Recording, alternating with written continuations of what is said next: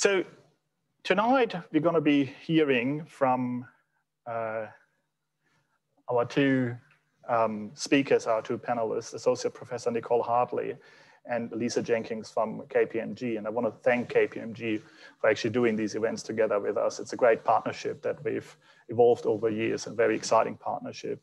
Let me start by introducing Nicole, and then I'm going to introduce Lisa, and then I'm going to hand it up uh, over to our panelists to actually give their presentations.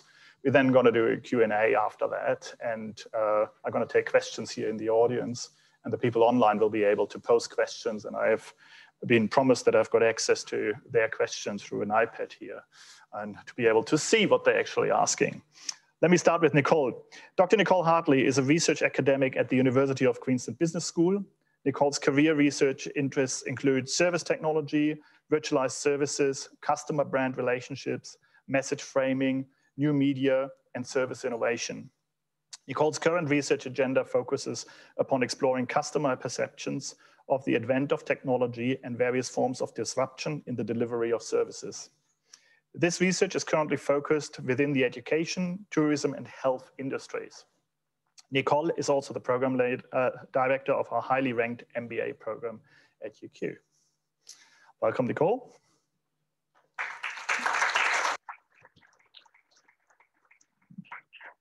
And going from the director of the MBA to, to an alumnus of our MBA program, I understand, uh, to Lisa Jenkins um, is, is a director in KPMG's Digital Delta practice in Queensland. Lisa works with a range of clients in both the private and public sectors to formulate strategies that reimagine organizations, harness innovation from the fourth industrial revolution, action insights from trusted data, and help organizations to become more adaptive and thrive as connected enterprises. Lisa is passionate about leveraging emerging technology, data, and human insights to commercialize new digital and data enabled products services and business models to deliver new value propositions for her clients, clients, customers. She's experienced in the development and execution of innovation, digital and data strategies, and commercialization approaches using agile and human-centered design techniques. Welcome, Lisa.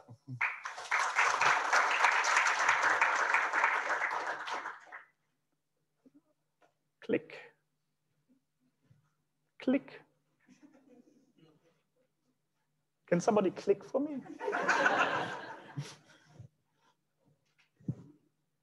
yes. So we'll start off with Nicole. Nicole, over to you, please.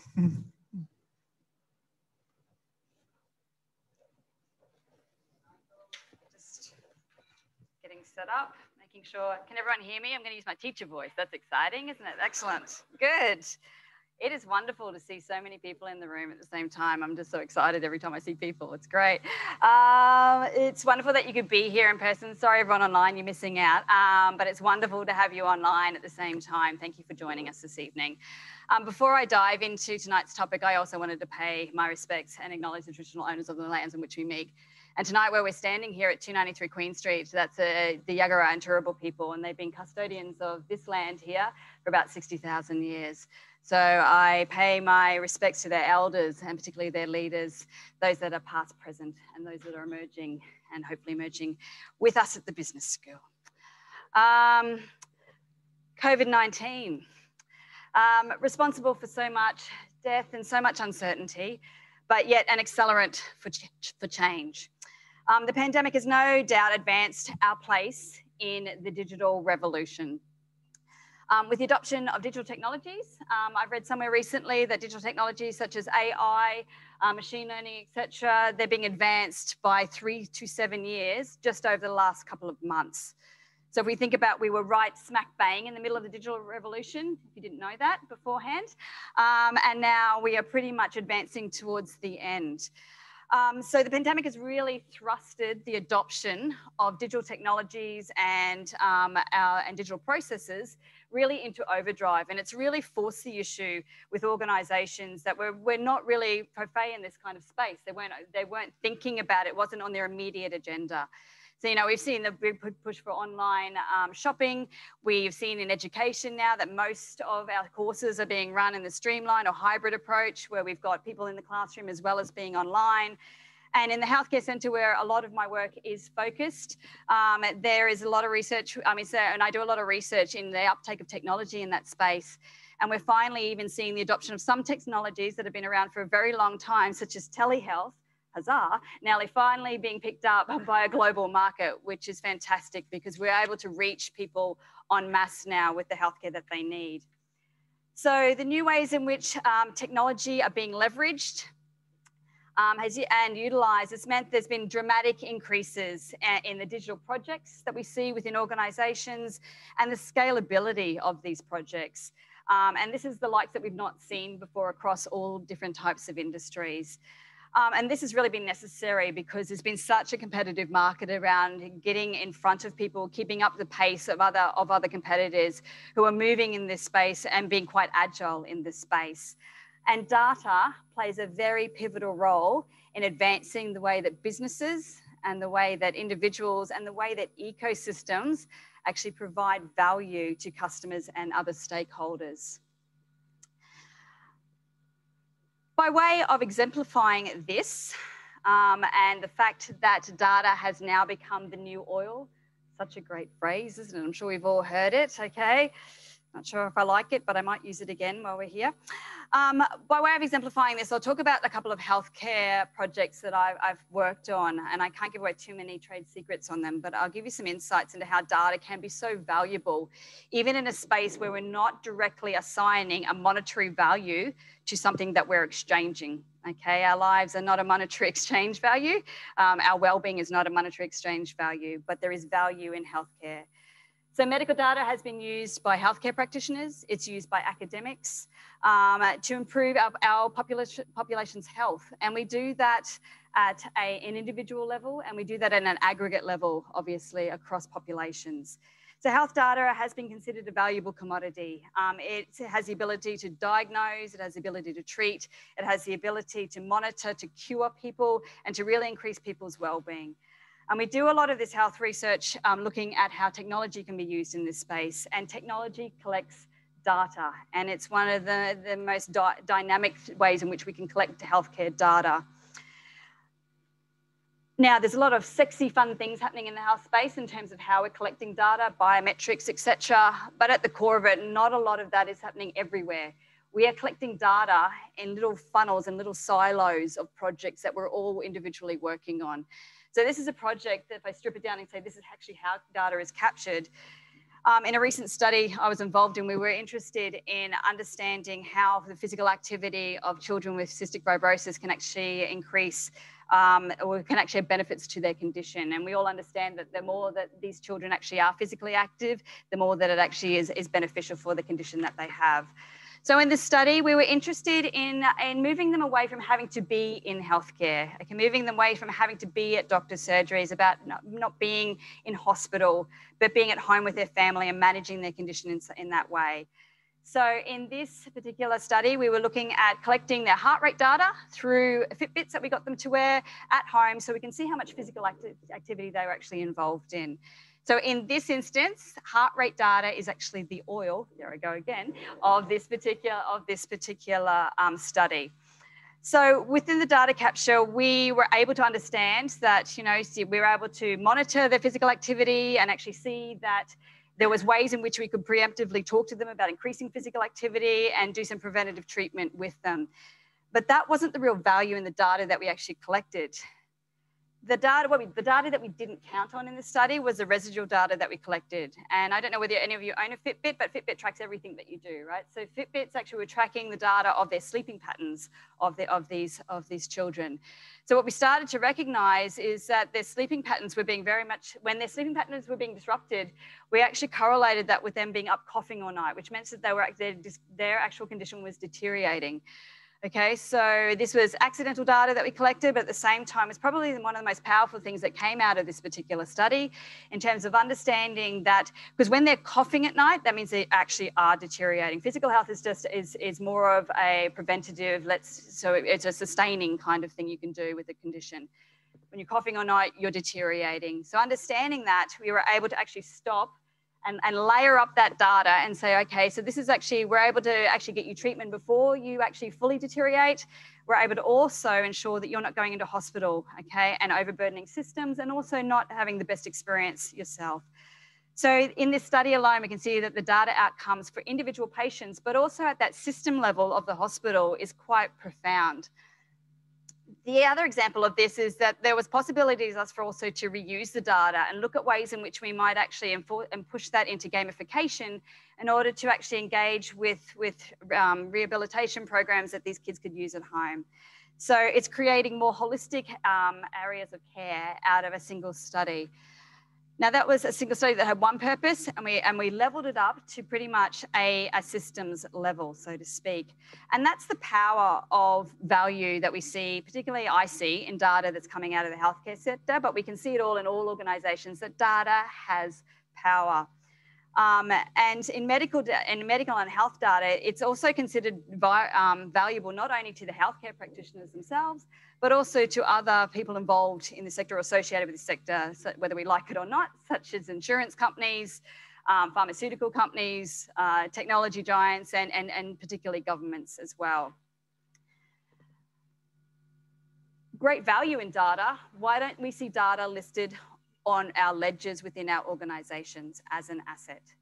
Because if we see the value in data, why isn't it listed there? And Lisa, as an accountant, is going to ask me a lot of questions about this, and I'm going to avoid it in a minute. Um, anyway, um, but in line with, but we see other intangible assets listed on our ledgers at the same time. We see things such as, you know, brand equity is actually listed on, on, a, on a ledger in terms of an intangible asset put forward. We see patents listed on asset registered moving forward. Um, we also see a whole lot of other things that are associated with other capital that we have on there, such as salaries and wages. That's an indication of our human capital, etc. But yet we rarely see digital registers within um, um, showing data as a strategic asset. And that's mainly because most organizations aren't managing, they're not managing their data well, okay? And they're not thinking about it strategically. Because if you think about how most organizations go about data, and I'm not blaming organizations for this because we evolve as we evolve, but we've evolved into silos. It's like a university. We're in a lot of silos, okay? Just saying. Um, you, get the, you get the gist. Um, so for the past few decades, as we've evolved data, we've evolved our own data silos. So me as a researcher, I sit within my own data silos of the research that I have exposure to or the data that I have exposure to. Within organizations, you have digital, even digital initiatives where you're siloing them within your organizations. Um, and so the repurpose, the reuse, the leveling up of data, and then being able to actually assign a tag to it as a strategic asset is much more difficult when we're dealing with digital silos. Um, and we really need to start realizing the enterprise level way of looking at data and seeing it as that strategic asset that it deserves to be. So how do we go about this? Um, glad you asked, everybody. Um, sorry, I'm just trying to be interactive. Um, right. So how do we how do we do this? Well, we've got to strip it back first and look at how data operates within an organization. How does it become the oil within an organization? And I think it, well, way that we've tackled it with the work I've been doing with some researchers, both here um, in Singapore as well as the United States, is looking at data as a, in life cycle stages. Okay, it helps you break it down and simplify it. Okay, so first of all, and I'll apply this to a healthcare context because I'm going to keep up that theme is firstly creation. Okay, so how do we capture data? So we can capture data in healthcare through observations, through biometrics, um, through um, health, other different types of healthcare technology that we have out there. And we can also integrate this data with other third party data, such as data, data from Medicare and other healthcare agencies. Data then flows through and we utilize that data to build digital assets. Okay, so digital assets are the synthesization of that data to make a diagnosis to actually treat a patient with, uh, with a condition, okay? The third stage, and this is where it always gets a bit fuzzy because data is always thought about, okay, we're gonna capture data, we're gonna use data, okay? And next one is like, how do we refine that data? What else can we use that data for? What is it strategically important for? How do we maybe um, dissect that data, data further? How do we refine it and make more nuanced insights or more high level insights out of the data that we have? And the final thing there is the actual retainment um, we did a whole lot of we did a whole lot of interviews with different people from large corporations that deal with a lot of data, and this was one of the stages that a lot of people stumbled over. It was like, oh, retirement of data. Uh, mm, I don't know. It sits in a data lake somewhere. I'm not sure what we do with that. And it's the same. Like we're always giving over all this data. Where does that data end up? And particularly with patient data, where do we keep this patient data, and who, and who ha, ha, has access to it? So we can see from this diagram though that you know data flows, it should flow around these things like oil through a company, okay? Um, but each of these phases also brings with it um, risks, okay? So risks that um, are aligned to lots of things that we see in the media, such as data breaches, consumer privacy, etc. And they can happen at all aspects of this data lifecycle chain. We want to mitigate as many of these risks as possible, obviously, because they have internal negative consequences to the way in which we are able to use data. But more importantly, they have negative consequences for the stakeholders, our important stakeholders that work with us. So we've done a little bit of work into this. I mean, we were looking at ways in which we could actually ascertain what is something that organizations could champion with, sorry, what, what is it that managers and even employees with organizations could champion to ensure that data is, is accepted as a strategic asset? And for something to be seen as a strategic asset, it needs to be, it to be, needs to be measuring on that bottom line and have reduced risk. Okay, so no one wants to invest in something that's highly risky, and data is risky. So how do we take or strip away that risk? And it's about engaging in what we call corporate digital responsibility. Okay, so corporate digital responsibility is not unakin to corporate social responsibility in that it is looking at er, where it acknowledges a way in which an organization should be treating a certain aspect of life. And this is how it should be treating data. It, it's, it's, encompassing all of the norms, the processes, etc., that companies should be looking at in order to actually deliver to utilize their, their data well and to deliver good value for the stakeholders that they have both internally and externally. So what we're championing for here is for companies to become strong in their CDR, okay? Um, that CDR shouldn't be something that's nice to have. It should be something that organizations have, have as a must have within their organizations. Now, we understand at the same time that because data and the way that we manage data is so new, there's lots of trade offs that organizations face when they're thinking about this. Um, and we investigated a lot of these different CDR risks that are involved in organizations. And we were really looking at what was motivating organizations to not necessarily be the super A star CDR performer that you would want an organization to ultimately be. And there is trade-offs in organizations. And we see, we actually looked at, at, five different motivations that came through in the data that we were collecting um, from what we did. First, there is many gains to be made and short-term wins in sales, etc., for actually utilizing data in certain ways. That may be cross-selling, up, up promoting, all of these things. But they have practices, these are practices that may carry a gamut of privacy, fairness, discrimination, and psychological risks to the people involved in those practices. Second, we know that uh, companies actually are looking to enhance customer experience. And if you're not dealing with customers themselves, you're dealing with another business partner. So the experience that that business partner has, we're trying to offer personalization. We're trying to offer immediate access. We're trying to uh, increase the speed of our service. All of these things have direct initial benefits to the stakeholders we're dealing with, particularly our customers, but each of these practices has negative CDR issues associated with it. And we see this time and time again in terms of coercion, privacy concerns, a lack of autonomy, etc. The third thing is that a lot of the time we companies are actually investing in digital practice and automation in order to reduce costs, okay? And, and, and, that's, and that's understandable. But at the same time, these carry risks such as lack of transparency and discrimination. Fourthly, some organizations are just reluctant to get on the bandwagon and actually discuss you know, data as, as the new oil or data as a digital asset. Um, and basically that comes down because they see no immediate returns. Okay, it's not actually appearing on their ledger. So where are the immediate returns I'm going to see in this sometimes massive investment that you'll see from what we propose shortly. Finally, also, there's just a sometimes it's just poor CDR practices eh, that are coming through based on the fact that a company just doesn't have awareness or they just have low commitment. Um, and that comes across all sectors. It's not just those that, that uh, don't have the cash flow to support them. So there is lots of tensions around this area, um, but we think it's strategically important for organisations to be looking at how they can create a very strong and resilient CDR culture um, and system within their organisations.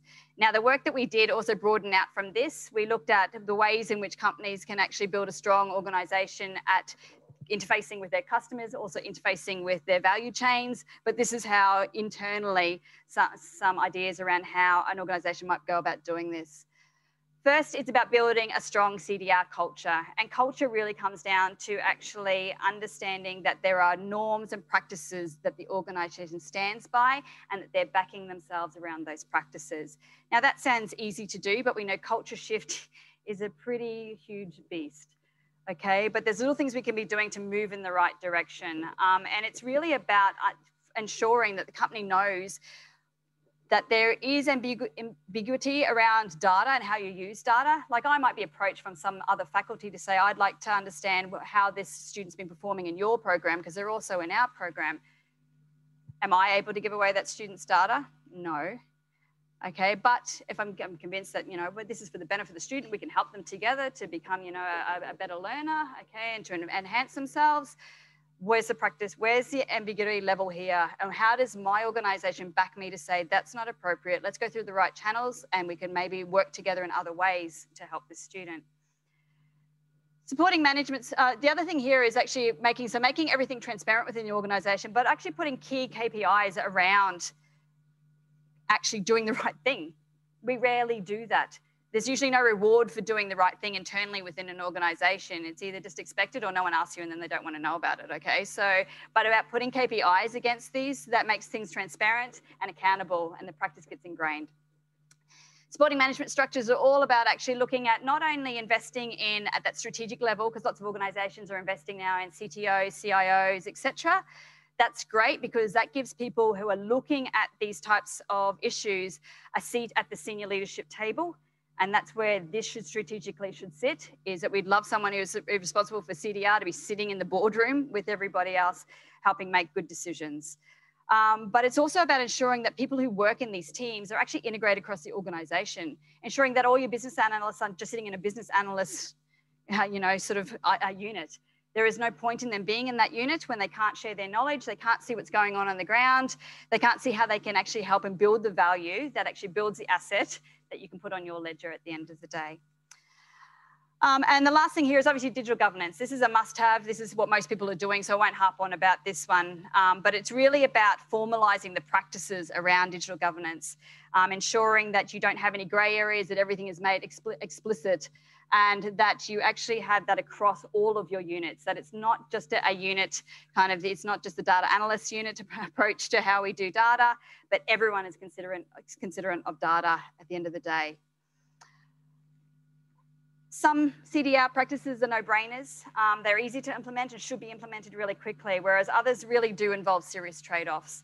Um, so, you know, this spirit of change of actually understanding data as an asset, it won't be a, a quick fix, um, but there's lots we can do in the practice of what we're doing. And I encourage each of you to go back to your organization and think about ways in which you can start conversations. Think about how the data you're collecting on a daily basis within your organization can be maybe shared with others and start sharing a culture because that's when we'll start getting buy-in at that strategic level. Thank you very much.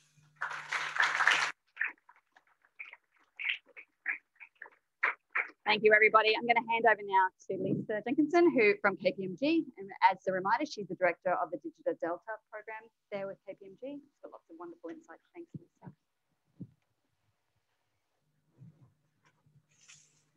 Thanks very much, Nicole. It's going to be a pretty hard act to follow. Um, you covered a lot of ground very quickly. Um, uh, good evening, everyone. I'm really delighted to join you here this evening to talk to you about how organisations can realise value from their data. Um, and I'm going to start with uh, a key premise that data is only valuable to the extent that it is consumed. And because it's really only when we consume data and information that we can derive insights to take action. And that's where the value in data really lies. But what I'm going to also say to you at the outset is that despite increasing efforts and significant investments by organisations over recent years, many organisations really aren't setting up for success when it comes to the way that they approach their data projects. to leverage data strategically, and to be intelligently empowered anytime soon. And I'm sure each of you can relate um, to one degree or another that your organisations are trying to derive value from the data that they have right now. And it's by far a new concept. And I often speak to clients and uh, often they'll say, you know, we have so much data in our organisations, we don't know what to do with it, we don't know where to start. Um, we've got this project team over here uh, and we've in invested a lot in this platform, but our organisation is still not getting value out of that data. And we've got uh, business teams that are going around um, that project, um, doing their own reports, and still no one trusts the data. So organisations looking to derive value from their data and, and insights have long invested in analytic assets, from on-premise data warehouses to data lakes um, and to machine learning platforms, just to name a few. And whilst improvements in tech have lowered the barriers to entry, and this is why these projects are uh, and problems are probably really common in your organisations, what we're con constantly finding is that talking to org organisations across all sectors is that the journey to being insights driven is elusive and challenging. And there's lots of research that has gone into this, both by organisations like ours as well as research bodies. And many of the factors aren't technical. Um, they include things such as driving culture change and optimising the right, the right operating model. But some of the factors are technical. And it's our view that some of the technical challenges can be alleviated by exploring a next generation insight architecture, an architecture that's designed and implemented differently to contemporary approaches. So tonight I want to expand on these challenges and introduce you to a relatively new concept, a new decentralized data architecture first described by Zhamak Dehghani by Thought, uh, at ThoughtWorks in 2019 and it's referred to as a data mesh. So the question is, where do we start? Well, I'm going to start with this notion, um, which you've probably also heard before, about the need for organisations to build a single source of truth. And building a single source of truth is conventional wisdom and a well um, accepted goal documented in most data strategies. And to be honest, it's in every data strategy that I've ever written um, and developed with my clients. Um, because after all, if there isn't a single source of truth, then we risk duplicating effort, uh, increasing costs, and uh, fueling this general lack of trust in data and insights. So now I want you to think back to the early days of decision support systems um, and this approach of getting all the data together uh, in the one place um, for analysis because, and, and you know, it was feasible at that time because we're really only talking about ERP solutions and maybe a few other little um, systems around the traps, some spreadsheets, when we're really only talking about BI reporting and management reporting. Um, and so, you know, that was reasonable, um, reasonably manageable, we think. But as analytical approaches have matured, coupled with the in introduction of cloud, building that single source of truth has become increasingly challenging. And what we find is that users have varying degrees of tolerance for the truth and accuracy. And uh, there's other dimensions such as cost and time that come into play. So if you take in the context of a university, for instance, what is the definition of a full-time student? Um, does it mean that that student is enrolled full-time for three to four years? What if they defer for a semester? Uh, what if they're studying three subjects or four or two? Um, you know, our definition of a full-time student might depend on how we want to consume that data and from the perspective of who. So is it someone from student recruitment and enrollments? Is it someone from marketing? Is it someone from finance? Um, and, and that's just thinking about it in the context internal to that or to, to the university. Then you start thinking about parties external to the university like Centrelink. How do they want to interpret the definition of a full-time student? So, you know, those silos that Nicole spoke about in her presentation are real. Um, and then you've got to start thinking about of those different parties, how often do they want to consume those insights? So time, once again, comes into play. And so we're faced with this quandary of truth and accuracy, which means we're also then presented with a myriad of architectural challenges that follow. Um, and challenges that are really difficult to operate in this one source of truth or one platform to rule them all type construct. And it feels a bit like this in practice. And it really renders this one platform for the source of truth to be a, a challenging, dare I say, an unattainable target state. Why? Because data consumers have different tolerances for the veracity of data and the speed at which they want to consume those data and insights. So the question is, how do we think about this differently from a technical standpoint? So our architecture work is about choosing trade-offs. Um, there's no single insights platform that can service all use cases. And whilst there's lots of different architectural design patterns that can, that can coexist on a platform, experience tells us that a monolithic platform-centric architecture is only ever optimized for one or two use cases. So if you take on one hand the data lake, um, which is generally designed for ad hoc data discovery and data use cases, um, those, you know, the data lake is optimized for fast ingestion of data, making that data available as quickly as possible. But they're not really great, uh, not a great fit for real-time integration or application of business rules to deliver repeatable, trusted management reporting. And then on the other hand, if you think about a data warehouse, useful, which is really useful for structured analysis of data, it really can't cope with real-time streaming uh, of events and complex event processing. And so it goes at this platform, um, monolithic platform architecture, choosing one platform to rule their, them all, regardless of whether it's a data lake or a data warehouse, really isn't setting up anyone for success. And I've been having a little bit of deja vu thinking about this. Um, if you go back to the path that we went, we went down the last 20 or 30 years, um, implementing big monolithic ERP systems, um, the solutions that promised the world, but really um, took quite a long time, um, particularly in the early days, to deliver any real value. And so building platforms that aim to serve um, everyone often lands us in a place where we've developed something that is so big and cumbersome and generic and general purpose in nature that it delivers value to no one. And I can't tell you a time where I worked in it with a client and in the, their environment, they only had a single standardized system or platform architecture to run their entire organization. I can't recall that in the earlier part of my, my career, and I certainly can't think of a client right now given the transition to cloud solutions. And as Nicole mentioned earlier, um, many organizations contain data silos as a result of the functional silos that exist. They have their own repositories of data, data processes, and governance structures. And you know, so the, the, the challenge here is not a lack of investment in technology. The problem is the range of technology solutions that just aren't joined up in any coherent way. And it's that point that's really the basis of the Max theory, that trying to build the same data lake or data warehouse type assets in the cloud is only ever going to bring the same problems we had pre-cloud, trying to build a single source of truth, a single monolithic platform to rule them all. So if you're an organisation that, has been on the journey towards a single source of truth, it's probably um, likely that you've also started down the path of transitioning to a more center-enabled um, operating model for data and analytics. Um, and it's a model where the central team aims to um, build that single source of truth so that business teams can then analyze the data.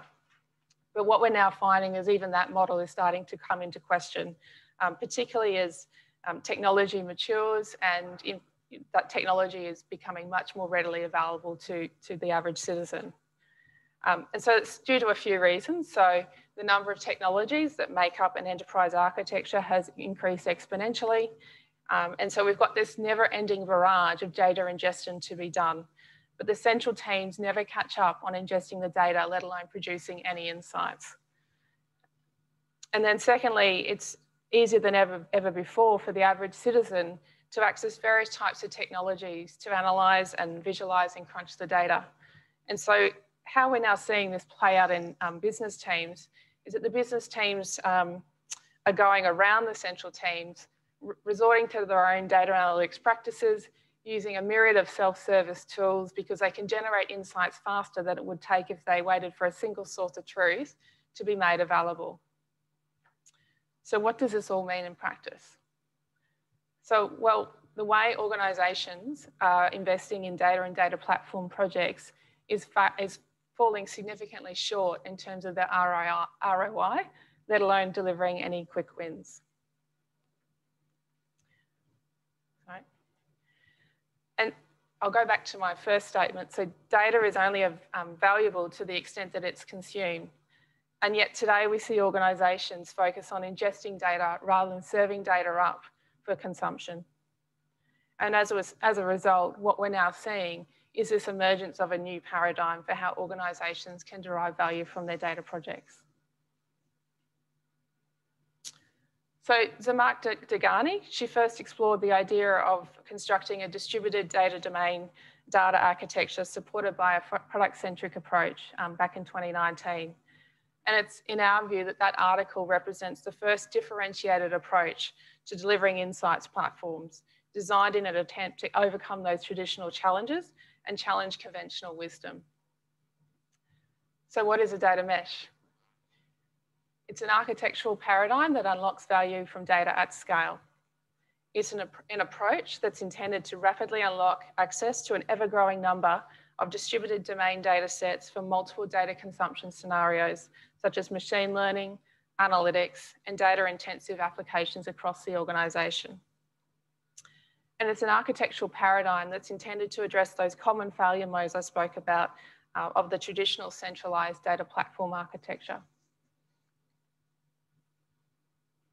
And it's the convergence of these four things. So data, of course, distributed um, domain-driven architecture, self-service platform design, and product thinking. So in essence, in essence, it's about treating knowledge domains as the priority concern and leaving the implementa implementation details, such as the data lake tooling and pipeline, as a secondary consideration. The, the intent of this is really to shift our current mental models from a centralized data lake to an ecosystem of data products that play nicely together, the data mesh. And conceptually, the data lake and the data warehouse simply becomes another node on the mesh. It's about applying platform thinking to create self-service data infrastructure. And that means, means making sure that the platform is hidden, hides all the underlying technical complexity and provides that infrastructure and those components in a self-service style manner, reducing the lead time to create a new data product. And importantly, it is about um, treating data as a product or an asset. So co-designing solutions with customers um, focused on really building those smaller units of insights. So to build on this in a little bit more detail, if you recall earlier, I, I, discussed the idea that centralized data and insights platforms are akin to building these monolithic applications. They're slow, they're cumbersome, they're laden with architectural trade-offs that result in a suboptimal user experience um, for anyone trying to analyze data. On the other hand, a data mesh offers a distributed architecture that enables multiple teams to create data products supported by that self-service data infrastructure. And it's about progressively building um, small, manageable, fit for purpose intelligent data products that are focused on answering um, an organisation's most critical questions and aligning those to the needs of stakeholders or customers that form part of the value chain and then embedding those into a new operating model across people, process, and technology to drive adoption. And adopting a data mesh approach requires that we establish product teams that focus on building domain-specific data products that are provisioned independently and have distinct roadmaps. And if you know a little bit about my background, you'll appreciate why I'm a big fan of this approach. Co-designing solutions with customers, who would have thought? um, and so this really enables for business teams with domain knowledge to build products, make those necessary trade-offs between truth and accuracy, um, both in terms of what we spoke earlier around um, uh, choosing either a data lake or a data warehouse, but also in terms of the context in which people understand truth. Um, and you might recall my earlier comment where I spoke about how things are currently playing out in practice with business teams going around the central teams. Um, I think the reality is we actually need to embrace that and in doing so recognise that we need a new operating model um, to evolve. And in, in that way, we need to um, enable so that the central teams are not spending all their time ingesting data. Um, it's a job that's never complete. We need to now get them to start thinking about how they can serve data through a, a set of domain-centric data products intended to be consumed by specific stakeholders or customers and treating data as a strategic asset. And the technical team success criteria is the provisioning on that of that self-serve data infrastructure and lowering the lead time um, for product teams to create those products. And I haven't even touched on some of the other benefits that this model um, brings in terms of the race for talent, talented uh, data cloud engineers. Um, in that model where infrastructure is provisioned, we can start using broader skill sets like software developers and business analysts to build the data products. So I think the architecture and the implied operating model is pretty uh, compelling. But what's the catch? Like all good things, there's a few new challenges to overcome. And we foresee three key challenges ahead. And the first relates to an organisation's ability to enable data serving instead of data ingesting. So serving data across multiple operational and analytical systems requires a modern API fabric to be established.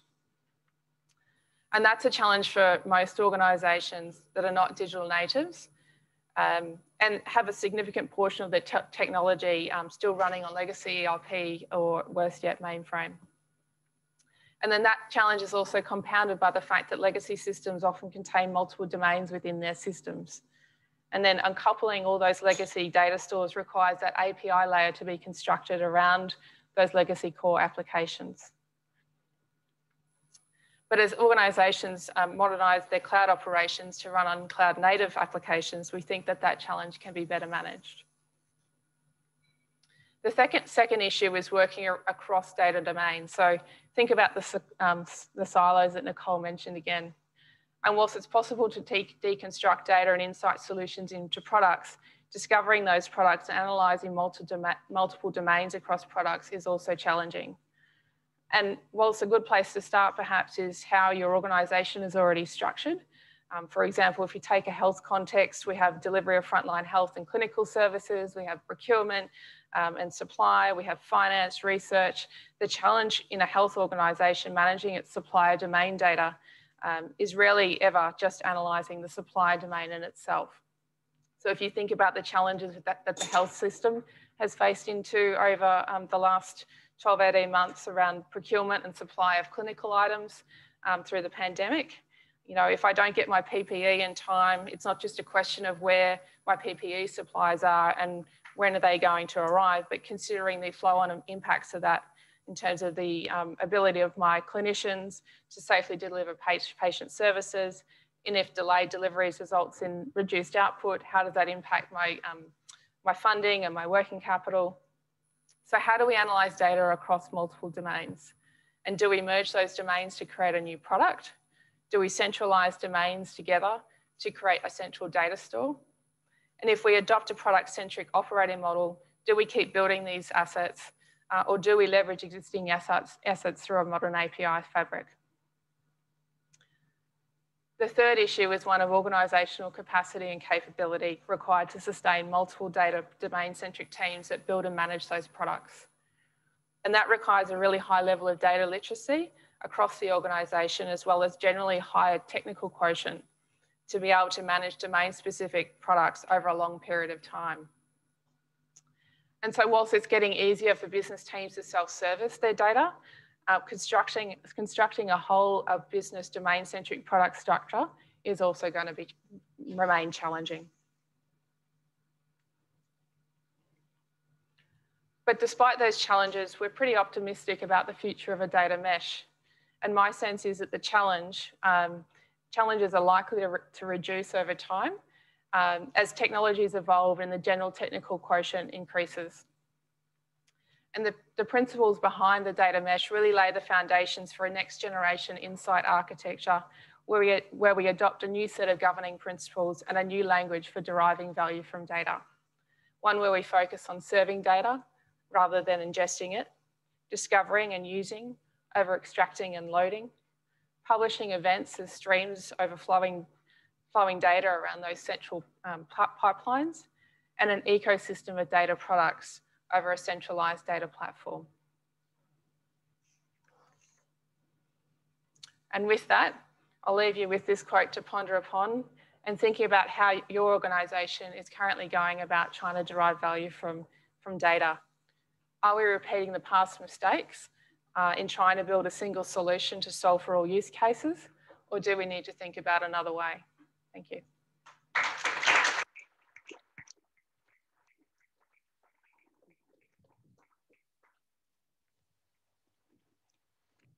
All right.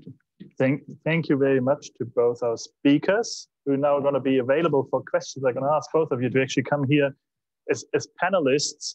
Um, we heard in a very comprehensive fashion uh, about the return of investment on, on actually having data and the intricacies of, of, of dealing with that. So I'm pretty sure uh, there will be questions. We've got people with microphones uh, uh going around so that we can, can take those questions in the room. I want to probably want to want to quickly uh, kick it off and, and ask the first question here. Um, if I if I distribute data over multiple depositories, and this is probably more uh, linking into to your talk, Lisa, um, do I have to to take into account that the the accuracy of the data might not be the same as if I had a, a central repository? And what I'm aiming with that, do I actually need to be tolerant to do the accuracy of the data and deal with those inaccuracies? It's a great question, Michael. And I think that's what I was trying to convey was really um, people, what, what does truth mean to different people? So if you're coming at it from a perspective um, of, uh, you know, in the university example, enrolments, you really need to be accurate in terms of the, the numbers of, of people that you know are interested in a particular course. Um, but, but perhaps the question is how many students do I have enrolled full time? And I, I want more of a generalist, you know, it's, you don't need as much accuracy. And so I think this is why business teams are going around and, and in the absence of having perfect data, they, they look for proxies. And proxies are sort of a demonstration about that difference in truth. Um, so it comes back to who, who was trying to consume that information and for what purpose. And this is where I think we end up in the quandary around putting data on the balance sheet because it's not meaningful until it's meaningful to someone. And how do you articulate that? Okay, excellent. Good. Let, let's open it up to the room. As we've got a question here in the front row, let's wait for the microphone. James Clark from Intralison. I had a question around getting people on board to take on one of the data projects. I think about a typical project, you use the data to justify the doing of the project, whereas the project itself is the data and you don't know what you actually have until you get into it. What's the process of bringing stakeholders on board to um, commit, particularly where there's an investment in the project? I'm happy to, kick that off. Um, I'll go back to my comment about how you know we go into organisations and they say they've got all this data and that and they are sort of confused about where to start. And we actually don't start with the data. We, we start with the, well, what are the strategic questions you need to answer? How are you measuring your performance right now? And using that to really focus in on um, how they're using their data to inform how they're tracking the decisions that they need to make. Uh, and that is one way to cut out the noise of all this data and, and get really specific. And then through that process, you can deliver value very quickly. We had a question somewhere here and then the gentleman in the front. Hi, it's Phil Beresford here. I'm going to be a little bit sneaky and try and sneak in two. and I'll split it between the two. So um, uh, the first one's for Nicole. You mentioned about um, data being recorded in the assets of the business, etc. Yeah. Um, how do you propose to value those assets? Question. Um, no, but that's exactly picking up on what Lisa was saying before. It is when you subscribe value to something. Okay, so and that value can be that the outcome of what we've actually learnt now, and I can prescribe it back to the, the example I gave with um, the cystic fibrosis case, was that the value at the end of the day was those parents didn't have to go through the stress of putting their children into, um, you know, so into hospital. So for them, that's that's a non, you know, that there's no value on your happiness and your well-being of your children. At a hospital level, though, when you do that, the, the value is in the cost reduction of having to look after, and I know that's a terrible outcome of, you know, well, good, we don't have to look after another sick child, but that is their model of, of apparatus. So you're actually delving into a cost factor there. So a lot of times it's not necessarily a cost value, it could be a cost reduction in a lot of cases, whether it's saving people having to do certain jobs.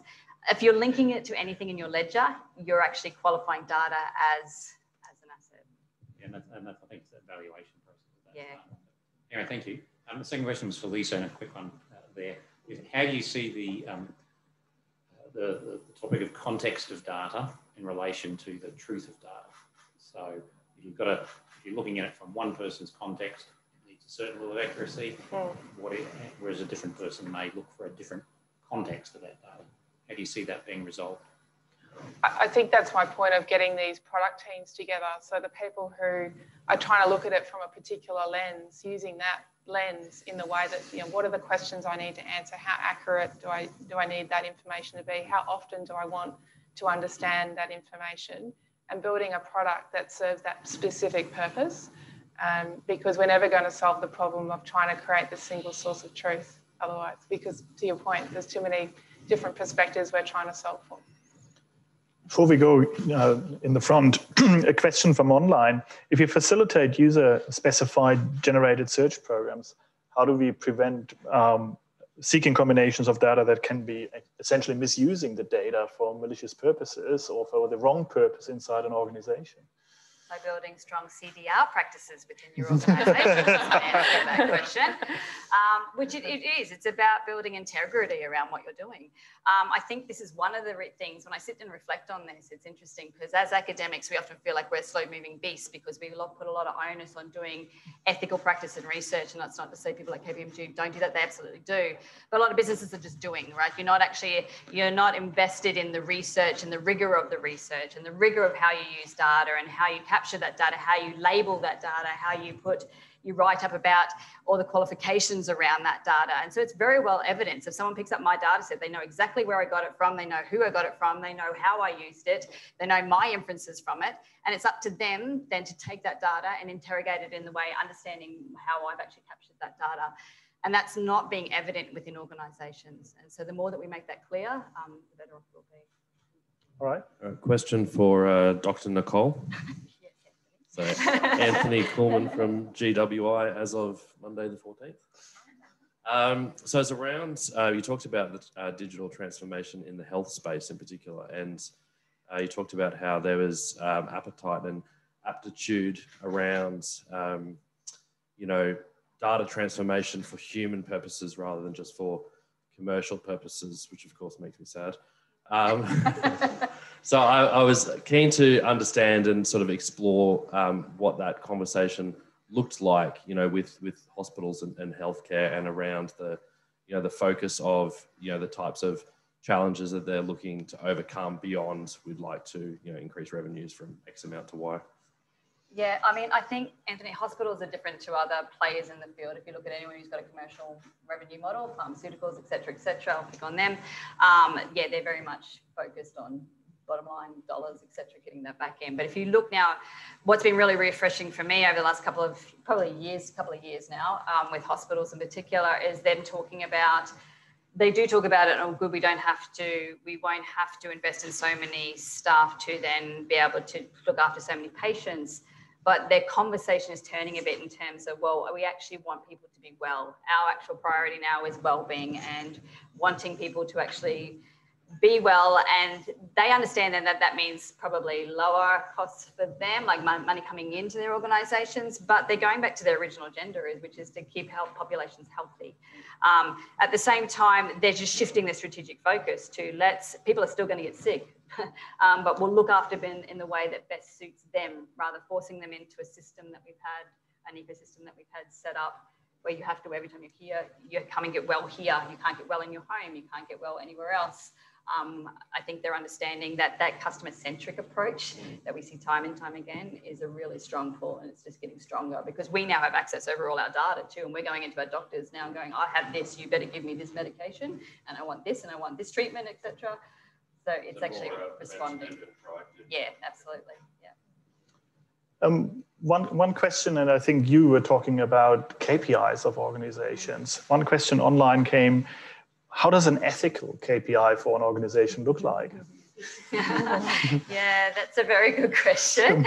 Um, I think there are practices you can put in place, um, which is around ensuring that the processes um, are, are, set up. Like, so the KPIs are not necessarily how, how many times did you not discriminate against somebody within your data set. It's actually rewarding people in a way that says, you know, we actually have um, done a project, it actually has resulted in X, Y, and Z. And a part of that reporting process is the fact that we're, we can pretty much maybe put a, a guarantee or a 90, 95% confidence level around the fact that you know the data that we've collected has not been coerced from our customers because we've done this approach and this approach.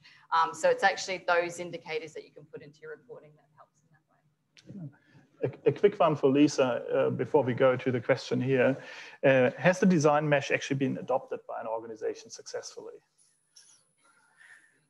I do. I would, I would, I would say certainly, and I, we have been adopting elements of it already into organisations. So I can't talk about it, um, unfortunately. Um, some confidential pieces, but absolutely. And I mean, I, I think the concept of um, product-centric design and product-centric development is not new, human-centered design. We just need to adopt some of those practices into how we're building you know, reports and, and, and informa information that's and dashboards that are built in our organisations and making sure um, that they're purposeful, that they're they're answering the key questions that pe the people who are consuming those reports want answered. Um, that's a very, I would think, a relatively easy step to um, take back to your organisations in terms of where we're focusing our efforts, um, what, what, reports are in the pipeline, how are we triaging, how we prioritise those even. Um, so. All right, very good. Please. Thank you. Yeah, Blake Barrett from Defence in Business. Thank you very much, Nicole and Lisa. My question uh, revolves around some of the history in terms of um, when I was listening to the presentation, I was thinking data, information, knowledge, wisdom, uh, and, and about the history in terms of paradigms and, and new ways of looking at things. Is, is, is some of that information from the past and that heritage that we've got still quite useful as a, as a basis for data because quite often I feel even though I might be a technical person and I like data, quite often the leadership don't really, they do try to understand, but it really is quite a finutia of understanding the data. So I'm just, I'm just, my question's about the leadership in terms of how they might really get into the data or do they never get into the data? I think you've picked up on a really interesting, because the, the, more I read into this and the more, particularly when I'm looking at it from that management level insights, particularly when you're looking at how to create good CDR practice, it does come down to um, you know the wisdom like what's the end goal here? What's the end understanding? And it usually is the wisdom the thing that is the thing that someone's going to hang their hat and go this is the thing that we do and we do it because of all these reasons. Um, so the more that we can link our data to good insights to good decisions the decisions that make impact um, that to me is a chain of you know so here's good data here's good knowledge and then there's good wisdom. Um, yeah i think that's absolutely a way to frame that moving forward all right Lisa, did you want to add to that? Oh, look, I would say, I mean, I, I think senior leadership generally understand that data is valuable, but I don't think they appreciate the the investment that's required to put the foundations in place so that you, you can do you can get get some real value. Um, but you know, and and it's and it's getting them to invest in those foundations, but you know, equally, you know, how do we show value quickly?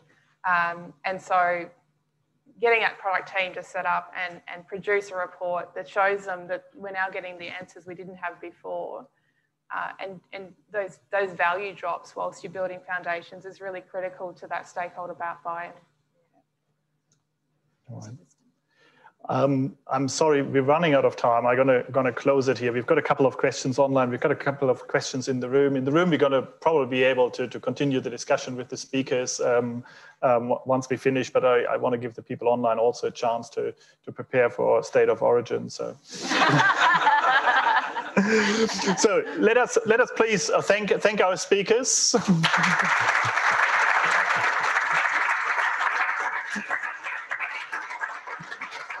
and we've got a little little present for you, Lisa. And Nicole, as usual, you get our gratitude. Yes. I'll share it with you. Yeah, if you want, Yeah. please. All right. If this has sparked your interest, um, talking about data, we're actually uh, starting a new a master degree in business analytics. So this is your opportunity to actually come to a seminar and, and, and, and learn more a little bit more about this.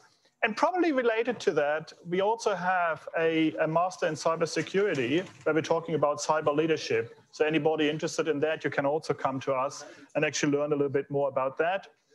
And the, the other topic that I want to promote here before we close it is our alumni, alumni mentoring platform. UQ has 290,000 alumni. So if you're a UQ alum, you're actually part of, of a very strong network and uh, you get exclusive UQ mentoring and peer coaching um, if you actually come to us, join us on this platform. There's a link on there. You can also talk to us afterwards. And we've got people in the room who can actually help you with the discussion. Anthea Barry and Fran Francesca Hawks, where are you? Over there and over there. The people with their hands up, you can talk to those people about this, get a bit more insight what we're actually doing there. With that, a little bit behind time. I want to say thank you. And uh, for the people in the room, join us for drinks. Let's thank our speakers again. And thank you very much for coming.